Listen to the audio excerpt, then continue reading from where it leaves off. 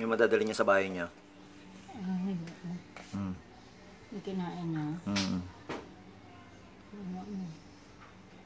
Galing nga maghukay, no? Oo. Nagtatago talaga yan. Kuya, dadali niya na sa ano niya. Galing na nasa bukas niya, kuya. Pinas.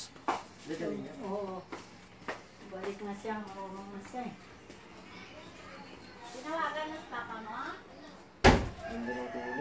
Red knee, no?